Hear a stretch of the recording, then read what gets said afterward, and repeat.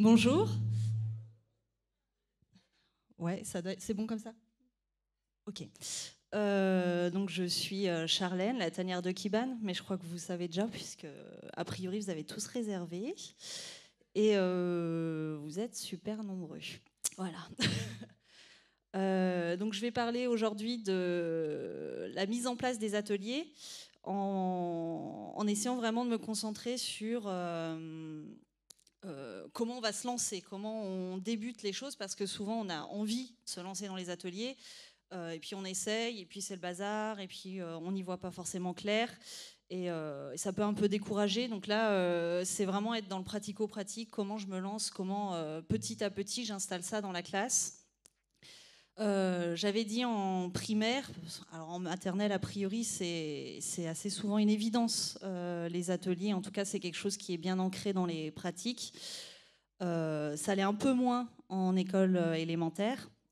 Mais euh, quoi qu'il en soit, les conseils euh, fonctionnent en fait des petites classes jusqu'au plus grand. Et peut-être même, mais là je dis peut-être euh, au collège, en tout cas je pense qu'il y a des choses à piocher et des idées à se réapproprier. J'ai décidé de vous mobiliser un petit peu dans cette intervention, surtout que là je suis vraiment bien en frontal comme on aime. Euh, donc vous allez pouvoir scanner le QR code et euh, chacun un petit peu apporter vos réponses, c'est-à-dire euh, pour répondre à la question pourquoi voulez-vous mettre en place des ateliers, qu'est-ce qui vous intéresse dans les ateliers, qu'est-ce qui vous motive à, vous lancer dans, ce type de pratique? je laisse le QR code un peu affiché un moment.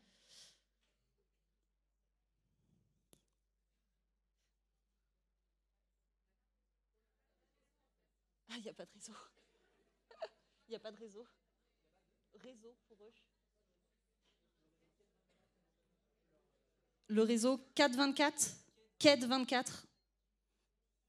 Si vous arrivez à vous connecter dessus. Il demande un mot de passe. On se renseigne en régie.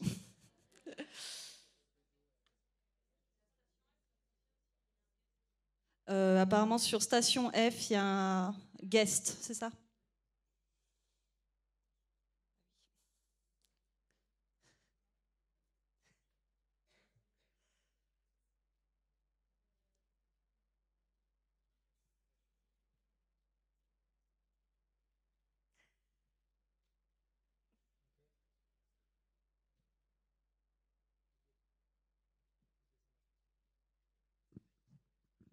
Alors pour le, pour le réseau Wi-Fi, c'est 424 pour, euh, pour le réseau et le mot de passe c'est Lily avec un L majuscule 2016. C'est bon pour vous? L-I-L-Y. ah ouais. On aurait pu faire plus long, mais bon. Euh. L-I-L-Y 2016. Et le réseau c'est 424.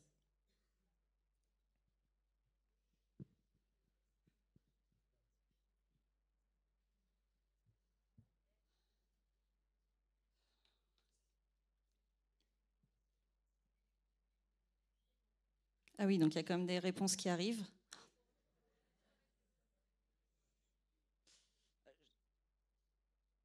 Je vous remets le QR code pour ceux qui veulent encore participer, mais là, euh, il y a tellement de mots que je ne sais pas comment on va les lire.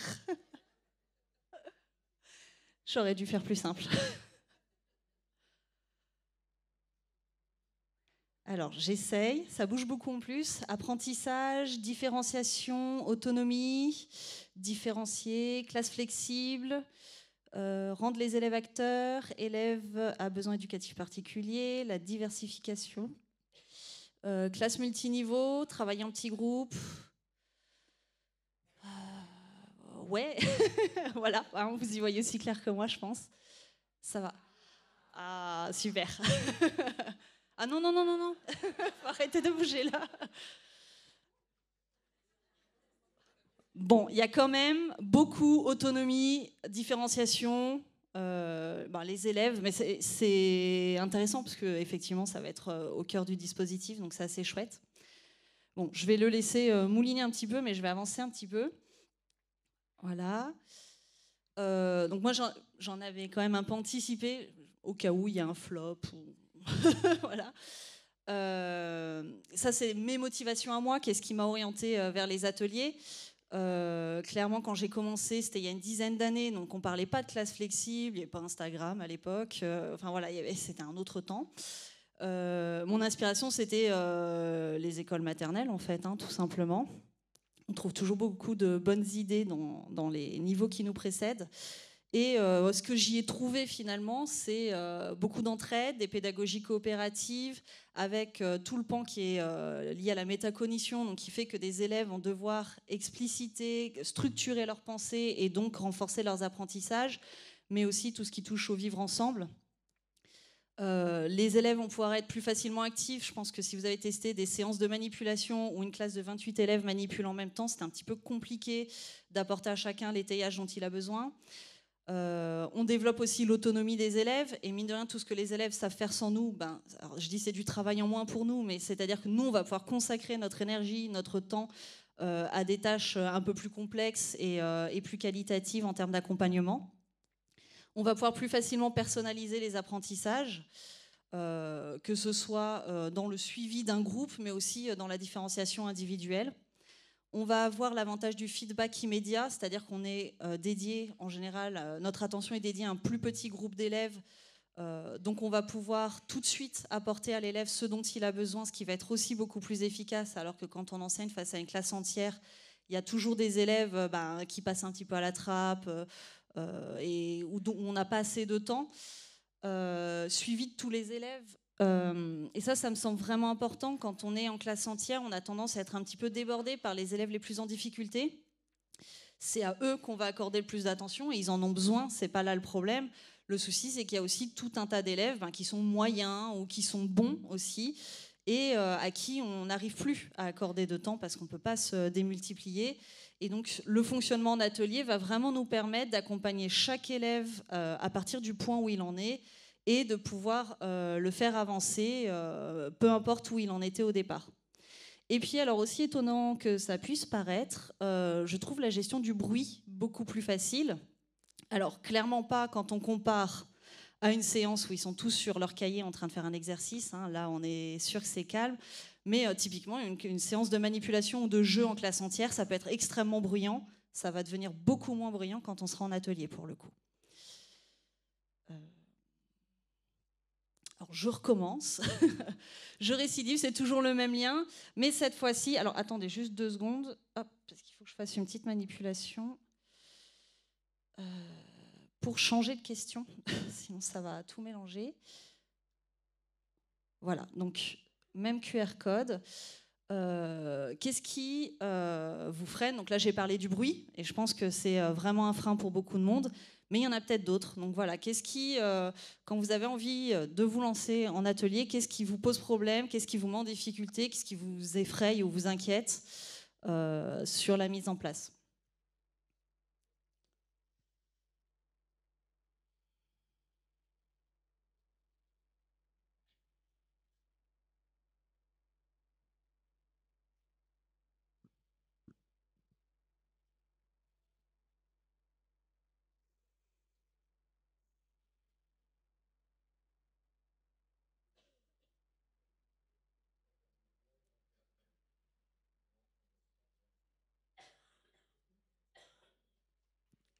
A priori, il faut attendre que plus personne ne réponde pour que ça se stabilise. Euh, le mot organisation, il, est bien visible. Hein. Matériel aussi, le temps, la préparation, le bruit. Moins gros que je le croyais, le bruit quand même.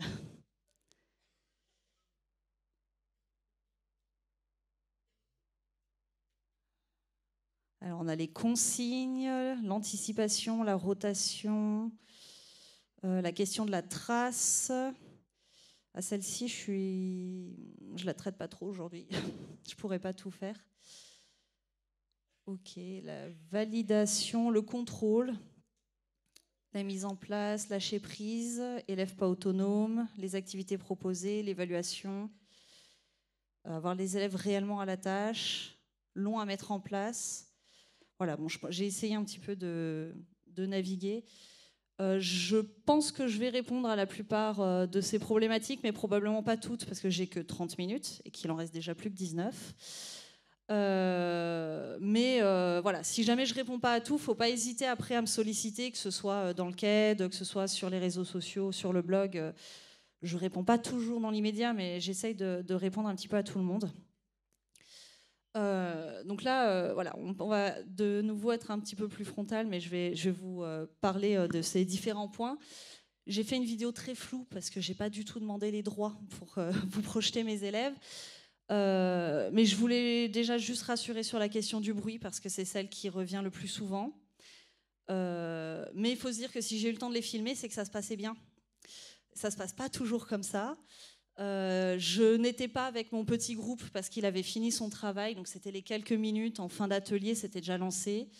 C'est un groupe qui m'avait donné beaucoup de difficultés en fait pour mettre en place. Euh, là, on est en juin euh, avec des CM1 qui ont vraiment vraiment compris ce qui était attendu d'eux c'est clairement pas euh, cette ambiance-là qu'on a euh, en début d'année. En début d'année, c'est plutôt euh, je fais mon courant chuchotant et puis toutes les trois minutes, je vais dire le groupe du fond, c'est un peu bruyant. tel élève, tu peux parler moins fort. Enfin voilà, c'est quand même pas très confort au début et c'est assez normal. Et ça va parfois même jusqu'à la sanction. C'est-à-dire que si ça fait cinq fois que je demande au même élève de parler moins fort, bah, je lui demande de, reprendre un manuel et de finir son travail à l'écrit tout seul pour que ça dérange moins et ensuite euh, on en reparlera. Donc là, je vous lance juste la petite vidéo euh, pour que vous puissiez voir non seulement le bruit, mais aussi, alors j'espère qu'on le voit malgré le flou, mais l'attitude des élèves. Euh, pour la question notamment de est-ce que les élèves sont à la tâche, je pense que c'est assez parlant. Et ça nécessite pas forcément beaucoup de contrôle, hein, puisque là j'étais en train de filmer, donc pas du tout en train de les surveiller.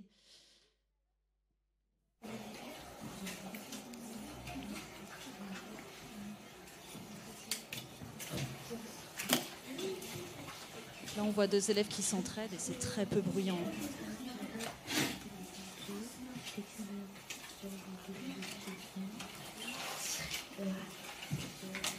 Et là, on a un groupe qui joue.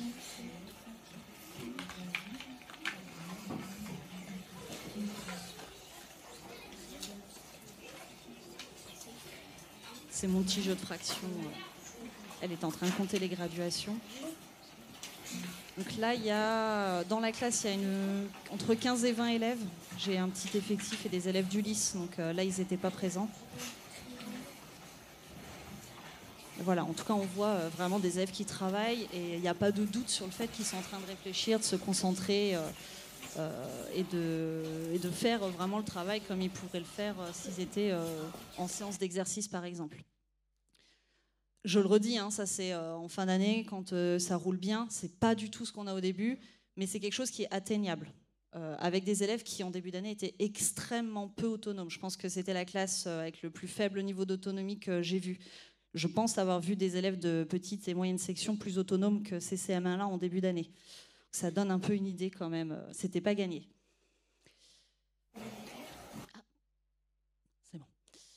Euh, pour euh, fonctionner en atelier, je, vous propose une façon de faire. C'est pas la seule façon qui existe. Il y a plein d'autres méthodes et puis euh, vous aussi vous adapterez. Je pars sur trois types d'ateliers. Si on est en maternelle, on peut ajouter un quatrième atelier, par exemple avec une ADSEM. si, voilà, si on veut faire une rotation sur quatre jours, on peut aussi augmenter. Si on veut faire une rotation d'atelier à la suite, euh, sur la même journée, on peut aussi, voilà, ça c'est juste euh, une, euh, un, exemple de fonctionnement qui permet de se lancer et puis après on ajuste. Je pars sur trois types d'ateliers. Atelier dirigé donc avec l'enseignant, un atelier de jeu ou de manipulation coopératif et puis un atelier individuel. L'intérêt c'est que du coup on a quand même qu'un seul groupe qui va faire des jeux donc du bruit potentiellement. Euh, et puis, euh, et puis euh, moi, je ne suis qu'avec un tiers de ma classe pour enseigner, ce qui est assez pratique pour les raisons que j'ai dit tout à l'heure. On va avoir une meilleure attention des élèves. Souvent, je les regroupe devant avec moi. Donc, en fait, on se voit tous, on se regarde tous. Et rien que ce contact visuel va beaucoup aider. Je pense qu'on a tous en tête un élève qui a tendance à un petit peu se cacher, s'affaler sur la table, être au fond et, qui n'est pas forcément très attentif. Des fois, oui, hein, mais des fois, non. Donc là, euh, on va plus vite euh, pouvoir les repérer, les interpeller euh, et, rendre les échanges plus fluides. ce que je disais tout à l'heure, on va pouvoir avoir des feedbacks immédiats, on va aussi pouvoir s'adapter, c'est-à-dire que si j'essaie de faire passer, je sais pas, une notion sur les fractions et que je vois qu'il y a une confusion en fait, je sais pas entre dénominateur et, euh, numérateur, et eh ben je vais tout de suite pouvoir corriger. Et donc ça va être beaucoup plus efficace que de s'en rendre compte en corrigeant les exercices à la fin de la semaine. On va avoir des entraînements euh, sur ardoise avec le tableau numérique ou euh, des manipulations, mais qui vont être guidées. C'est un petit peu euh, ce qu'on fait en maternelle, en fait, parce que la manipulation en soi, elle apprend, mais elle ne suffit pas. Le sens qu'on met derrière la manipulation, les mots qu'on utilise, ils sont tout aussi importants. Et là, comme on est très proche d'eux, on va pouvoir vraiment avoir une bonne qualité d'étayage auprès des élèves. Et puis, euh, ça, c'est un groupe qui va avoir un faible degré de bruit, parce qu'en fait, ils sont avec nous. On ne fait pas le cours en parlant très fort. Alors, tous ceux qui ont tendance à avoir des extinctions de voix, ça permet aussi un peu de s'économiser. Euh, et puis, ben, on est là, en fait, pour réguler le bruit. Donc, ça se passe euh, très calmement. une petite idée, quand on lance ces ateliers, c'est d'écrire très rapidement ou de le préparer et de le projeter une petite consigne de révision le temps que tout le monde s'installe, parce que souvent c'est le groupe qui est prêt le plus vite, mais c'est celui qui a le moins besoin de nous pour être prêt. Donc en général, ce que je fais, c'est que euh, je leur mets une consigne au tableau qui va leur permettre de réactiver euh, ce qu'on a fait la semaine passée, une petite, euh, un verbe à conjuguer, un petit calcul à poser, quelque chose comme ça. Ça les met tout de suite au travail, c'est quelque chose de simple et ça va nous permettre tout de suite rebondir. Et moi, pendant ce temps, je vais pouvoir vite faire un tour dans la classe et vérifier que tout le monde a bien le matériel, tout le monde est à la bonne place, euh, tout le monde euh, sait ce qu'il a à faire. J'ai mis idée après, mais j'ai oublié. Euh, le deuxième atelier, c'est l'atelier individuel. Donc ça, c'est vraiment les séances d'entraînement très classiques. Euh, qui va permettre de remobiliser tout ce qu'on a travaillé précédemment, soit euh, dans un atelier dirigé euh, cette semaine-là ou la semaine d'avant, soit quelque chose de plus ancien, ce qui va nous permettre d'avoir des progressions assez spiralaires et qui nous permettent de revenir régulièrement et donc de consolider les acquis, mais aussi de laisser une nouvelle chance aux élèves. Parfois, en début d'année, le présent, on n'y est pas, et puis en janvier, ils l'ont, parce qu'ils ont continué à le travailler, à le travailler, donc c'est pas perdu. Ça nous permet bah, de voir ce que chacun sait faire et a vraiment compris tout seul, vraiment avoir un suivi individuel, donc qui ne sera pas euh, vraiment pendant, euh, parce qu'on a peu de temps finalement pour passer euh, voir les élèves, mais en tout cas, à la fin, on va pouvoir un petit peu estimer. Et moi qui fais de l'évaluation continue, il y avait la question de l'évaluation, pour moi, ça c'est très bien. sachant que mes élèves, vous avez vu qu'il y a des élèves qui s'entraident, c'est autorisé, ils doivent juste écrire dans la marge qu'ils se sont entraidés où euh, ils vont écrire, s'ils utilisent un outil de la classe, un mémo, ils écrivent juste avec mémo. Euh, ils savent que voilà, de toute façon, ils ont d'autres chances de le valider et que moi, ça me permet de savoir où est-ce qu'ils en sont et de savoir si je dois leur reproposer ce type d'exercice ou pas. Donc comme il n'y a pas d'évaluation, on va dire punitive à la fin, tu sais, tu sais pas et c'est perdu. Euh, ça pose vraiment pas de problème une fois qu'ils l'ont acquis. Évidemment, au début, ça triche un petit peu, euh, ça prend le mémo, mais ça le cache. Bon, bah là, on est un peu plus vigilant et puis on passe et on lui réexplique et on rassure, et puis au bout d'un moment, ça passe. Et euh, bah, évidemment, c'est un groupe qui génère très très peu de bruit, hein, donc les élèves peuvent vraiment se placer où ils veulent. Euh, si on utilise des plans de travail ou des, euh, feuilles de route, ou même voilà, si on a un élève qui n'est pas vraiment au niveau, mais qui peut quand même acquérir des choses, on peut tout à fait lui proposer un exercice différencié et il n'y aura pas de souci, c'est quasiment invisible, quoi, et ça lui permet de quand même être inclus dans la classe. Euh, alors deux petites idées. La première, ben, évidemment, avoir un support écrit avec les consignes, parce qu'en fait, on a beau les dire à l'oral, euh, souvent le temps qu'ils s'installent, ils savent plus quelle page c'est, etc. Donc ça, c'est important de le noter quelque part. Et euh, l'autre idée, c'est le tétraède. Alors vous les aviez peut-être vus en flou sur les tables, mais les élèves qui sont tout seuls l'utilisent. il y a donc quatre pointes. Là, c'est une version imprimée en 3D, mais ça existe aussi en ligne, en papier à fabriquer. Euh, la pointe verte, ça veut dire que tout va bien. Si jamais l'élève a euh, une question mais qui n'est pas bloquante, c'est-à-dire que bon, il a une phrase, il n'est pas très sûr ou il n'est pas, voilà, pas, mais bon, il est capable de se lancer quand même, il y va, il va mettre jaune et puis moi je passerai euh, quand je pourrai, mais ça me permet quand je fais ma séance de, de regarder un petit peu partout. Si c'est rouge, ça veut dire que je suis bloqué. Clairement, au début, ils sont tous en rouge tout le temps, donc il faut leur apprendre à pas mettre le rouge tout de suite et avoir d'autres stratégies. Et bleu, ça me permet de savoir que là, les deux élèves qui parlent, en fait, ils sont en train de s'entraider. Euh, du coup, ça m'évite de leur tomber dessus parce qu'ils font du bruit. Le troisième type euh, d'atelier, c'est euh, l'atelier coopératif ou de jeu. il va permettre de s'entraîner, de consolider, mais sans écrit, ce qui est important pour certains élèves, vous le savez. Euh, mais qui va aussi euh, permettre d'augmenter euh, l'entraînement. C'est-à-dire que si on s'entraîne, je sais pas, sur les tables de multiplication, le temps qu'on fasse la présentation, qu'on mette la date, le titre, le numéro, qu'on copie les, En fait, finalement, de la multiplication, on en fait beaucoup moins que si on a des cartes et il faut tout de suite donner les multiplications, les résultats. Donc ça peut aussi augmenter pour ces choses assez automatiques, ça va augmenter le temps d'entraînement finalement. Euh, on va pouvoir avoir très facilement de l'entraide, des explications mutuelles, donc tout ce que je disais sur la métacognition. Euh, et là, trois idées importantes parce que c'est vraiment le groupe le plus difficile finalement à gérer. Euh, le premier, c'est déjà d'expliciter ben, que le but, c'est d'apprendre et d'apprendre tous ensemble. S'il y a deux élèves qui arrivent à faire le jeu mais que tous les autres n'ont rien compris, on n'a pas rempli le contrat. Euh, de la même façon, il n'y a pas, euh, a pas euh, voilà, une Coupe du Monde à la fin de l'année, un championnat ou je ne sais quoi. Donc c'est pas grave en fait si, si on n'a pas fait la meilleure performance, si on n'a pas gagné. Voilà, on, dédramatise, on enlève un peu cet enjeu-là qui parfois peut être source de tension et, de stress pour les élèves. L'autre idée, et c'est ce qui fait qu'il y a si peu de bruit quand ils jouent, c'est de bien bien expliciter les règles de prise de parole. Souvent, on se contente de leur dire il faut chuchoter. Sauf que 8 élèves qui chuchotent en même temps, en fait, ça fait du bruit. Et euh, en tout cas, moi, je fais partie de ceux que ça dérange. Euh, j'ai beaucoup de mal à faire court si j'entends vraiment euh, du bruit en continu. Donc voilà, on, parle l'un après l'autre, on parle du jeu, pas de la dernière partie de Minecraft, ni de ce qu'on va manger à midi. voilà, si quelqu'un pose une question, et ben on attend qu'il ait fini, on lui donne la réponse. Enfin voilà, et vous avez vu vraiment que les échanges, il y, a, cette attente. Hein. les élèves se regardent et ne s'interrompent pas. Et du coup, finalement, on a qu'un élève qui chuchote à la fois, et c'est tout de suite beaucoup plus supportable. Et enfin, et ça c'est hyper important, c'est travailler la lecture des règles de jeu en autonomie. Ils ne savent pas le faire pour la plupart, euh, même s'ils jouent à des jeux de société à la maison. Souvent, ben, ça va être papa, maman, le grand frère qui explique les règles. Euh, là, je vais en général passer leur expliquer les règles une première fois, mais je ne pourrai pas revenir à chaque fois. Donc, ils doivent savoir se débrouiller avec les règles du jeu. Donc ça va être, euh, ben, je lis d'abord euh, le but pour savoir un petit peu quand même qu'est-ce que je dois atteindre. Puis ben, on va installer en lisant une ligne, j'installe le jeu. Ensuite, eh ben, on va faire un tour pour du beurre. Donc on va lire une ligne, on va faire ensemble et puis on va refaire. Et puis ensuite, on part pour de vrai une fois que tout le monde a compris. Et les, les entraîner à faire ça, mine de rien, c'est important parce que sinon, cet atelier-là ne marche pas du tout. C'est vraiment l'atelier qui va nous mettre en difficulté. Dans tous les cas, euh, on va faire une introduction progressive, c'est-à-dire qu'on ne va pas dire aux élèves, allez maintenant, euh, c'est atelier, donc il y a cet atelier, cet atelier, cet atelier, on y va. Euh, ça marche pas du tout.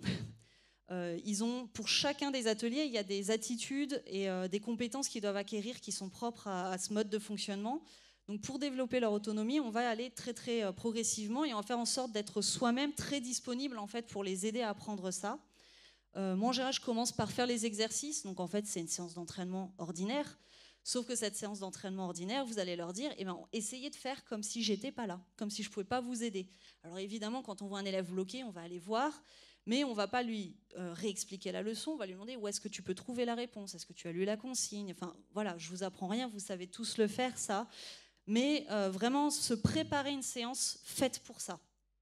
En général, on va choisir plutôt des révisions euh, des années d'avant, quelque chose qui ne va pas les mettre trop en difficulté, pour qu'il n'y ait pas euh, la difficulté scolaire qui vienne se combiner à la difficulté d'organisation.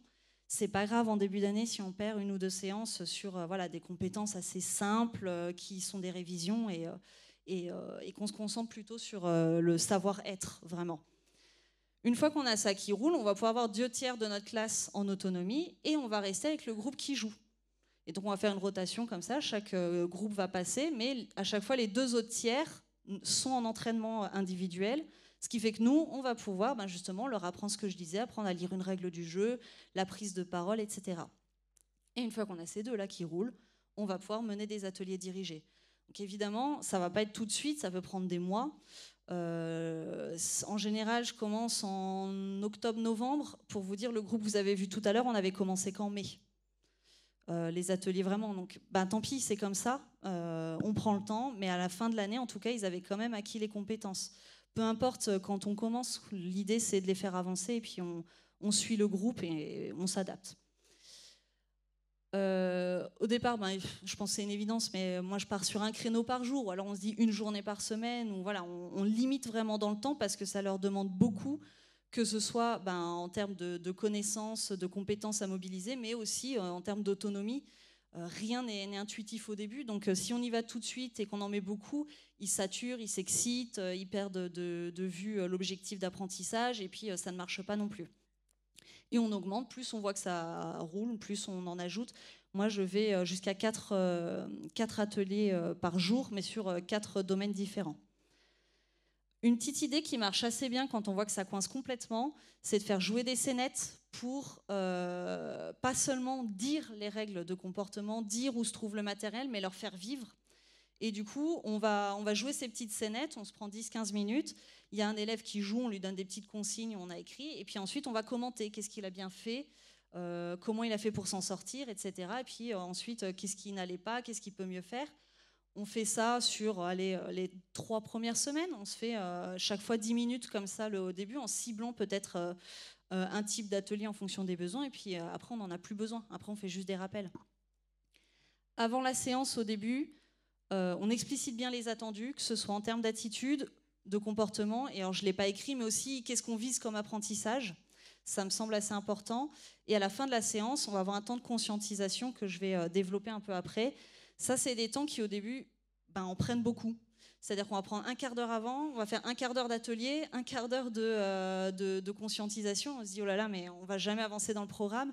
Mais ça, c'est pareil, si on le fait au début, puis petit à petit, en fait, ça disparaît tout seul. Donc, c'est pas un problème non plus, sachant voilà, à tous les niveaux, en général, en début d'année, on est dans les révisions, donc on peut, euh, on peut se l'autoriser. Euh, le temps de conscientisation, je le, sépare distinctement et je le dis bien aux élèves. Il y a deux questions qu'on va se poser. C'est d'une part, qu'est-ce que j'ai appris? Puisque euh, on leur rappelle, oui, c'est sympa les ateliers, c'est ludique, on est avec les copains, on peut mais en fait, on est là pour apprendre. Et qu'est-ce qu'on a appris? Dans quoi on a progressé? Qu'est-ce qui éventuellement nous reste à apprendre? Et de l'autre côté, on va travailler qu'est-ce que j'ai fait? Comment je me suis comporté Où est-ce que j'ai trouvé euh, les moyens de, m'en sortir? Ou je ne les ai pas trouvés? Où est-ce que je me suis trouvé euh, bloqué et donc faire ces deux temps-là permet vraiment de faire qu'au fur et à mesure, euh, la mise en place des ateliers se fluidifie. Euh, dans ces temps de conscientisation, mais aussi dans le déroulement, c'est intéressant d'avoir en tête l'autonomie des élèves qui, euh, pose beaucoup de questions.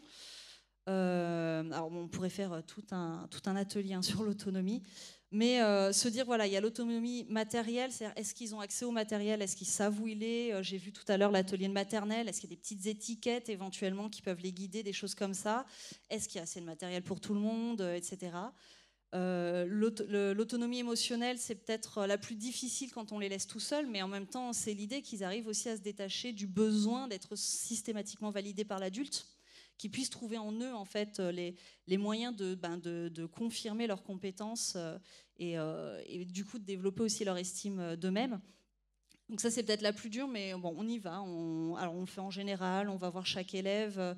Euh, pour l'encourager un petit peu. Et puis, euh, et puis ça avance, mais c'est bien de l'avoir en tête que parfois c'est pas juste que l'élève est feignant, n'a pas écouté, ou c'est qu'il est complètement bloqué parce qu'il a peur d'échouer, parce qu'il il n'a pas la maîtresse à côté. Enfin voilà, ça peut être très déstabilisant pour certains. Et euh, l'autonomie cognitive, ben là, c'est tout ce qui a lieu à qu'est-ce que j'apprends, de quoi, qu'est-ce qui me manque encore, où est-ce que j'en suis dans mon parcours euh, toutes ces choses-là, on peut avoir des outils comme euh, un livret de compétences ou soi-même en début de séquence dire, eh ben voilà, on va passer par cette étape, cette étape, cette étape. Et donc, avant le lancement des ateliers, ben là, on, est situé ici dans notre petit programme. C'est euh, des, choses qui les aident un petit peu à, mettre du sens.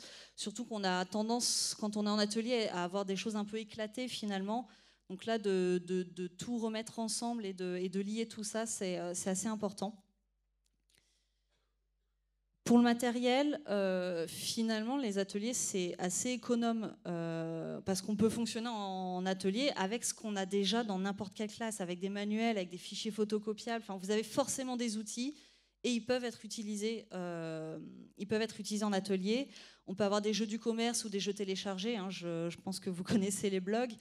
Mais euh, ce qui est important, c'est euh, de se limiter aussi. C'est-à-dire qu'on ne va pas faire un jeu par semaine, en fait, parce que le temps qu'ils comprennent la consigne, ils n'auront rien fait finalement en termes d'apprentissage scolaire. Donc voilà, moi je pars sur un jeu, trois semaines, c'est vraiment le minimum pour un jeu. Finalement, ça fait 12 jeux maximum à l'année. Tout de suite, ça paraît plus réaliste, d'autant qu'on a besoin que d'un seul exemplaire du jeu, puisque ça tourne sur la semaine le matériel de manipulation acheté, fabriqué, les ardoises. Enfin bref, on est vraiment sur de l'ordinaire. Donc c'est pas, euh, faut faire un inventaire de ce qu'on a et de se demander ben, dans quelle case je peux l'utiliser et, euh, ça marche très bien. Les tétraèdes, je vous en ai parlé tout à l'heure. Je vous ai mis une petite adresse. Euh, alors c'est pas exactement ce que je vous ai montré en, euh, en photo, mais c'est des tétraèdes imprimés en 3D qu'on peut acheter et, et ils sont très très jolis. Euh, et puis, ben voilà, je disais, hein, limiter les achats. Donc, euh, on est sur un tiers ou un quart de classe. Donc, tout de suite, on a moins besoin de matériel. C'est moins encombrant dans l'espace et puis ça coûte moins cher. Euh, ça, c'est. Alors, pour l'instant, elle n'est pas sur le blog, mais ça devrait arriver cet été, dès que je trouve un peu de temps. C'est un type de fiche de prep qu'on peut avoir, c'est-à-dire que je cible une compétence. Bon, qu'est-ce que je vais faire en atelier dirigé? Parfois, j'ai besoin de plusieurs colonnes d'atelier dirigés parce que ça ne prend pas forcément en une séance.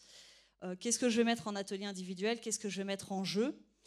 Euh, donc ça, c'est voilà, objectif déroulé matériel, c'est vraiment un truc euh, très basique, mais ça permet d'y voir un peu plus clair. Et ensuite, on va pouvoir faire une programmation que j'appelle tuiler. Euh, c'est-à-dire que euh, pour préparer ces semaines, moi je ne prépare pas euh, le dimanche ma semaine suivante. En fait, je vais préparer très très loin finalement, puisque ben, forcément, il faut que j'ai fait le premier atelier dirigé pour qu'ils puissent s'entraîner. Et comme il y a un groupe que j'aurai en atelier dirigé peut-être que le jeudi, je ne peux pas les mettre en entraînement sur la compétence le lundi. Donc je suis obligée de décaler comme ça. donc voilà, les ateliers individuels et coopératifs, ils vont à chaque fois être décalés d'un au minimum. Mais euh, ce ne sera pas forcément ce schéma-là. Ça peut aussi être euh, glissé quelque part parce que justement on a un trou du fait de ce décalage, une compétence un peu plus ancienne mais qu'on a envie de remettre euh, pour la réactiver. Alors la classe flexible, ben, en fait c'est pas obligatoire. C'est-à-dire qu'on peut faire des ateliers et on a défini dans la telle table, et vraiment comme on fait en maternelle de façon très standard, telle table c'est l'atelier jeu, telle table c'est l'atelier individuel, telle table c'est avec moi. Typiquement, ben, le groupe avec moi, de toute façon, il est devant, il le sait. finalement, l'atelier jeu, ils se mettent souvent sur le tapis du fond parce qu'ils s'y prêtent bien, que ça isole un peu du sol, donc ils, voilà, ils y sont confortables. Mais ce c'est pas, pas obligatoire. On peut aussi, du coup, les laisser libres. Mais là, c'est pareil, la classe flexible, c'est tout un sujet. Euh, en tout cas, il faudra définir euh, les espaces éventuellement. Moi, j'aime bien que l'atelier jeu il soit à l'opposé de moi, puisqu'on est les deux groupes qui allons parler, euh, qu'on ne se coupe pas la parole mutuellement, qu'on ne se déconcentre pas. Après, l'autre groupe, il est libre de se mettre où il veut, il dérange personne de toute façon.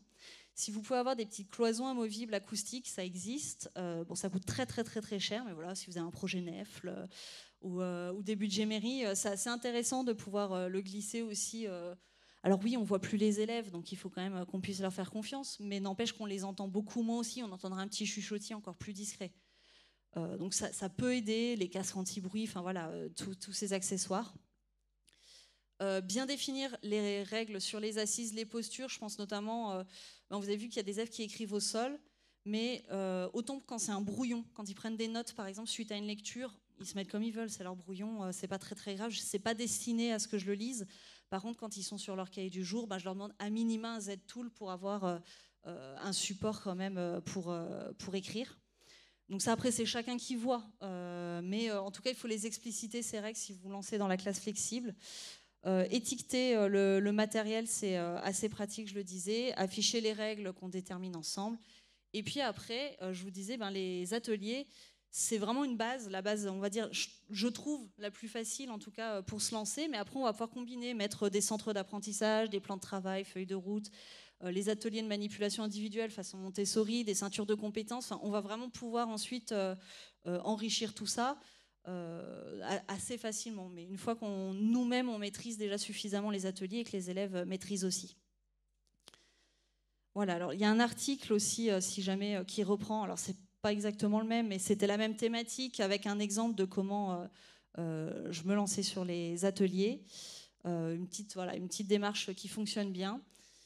Et puis, voilà, je, ouais, j'ai fini. vous pouvez me retrouver donc, sur ces réseaux si vous avez des questions.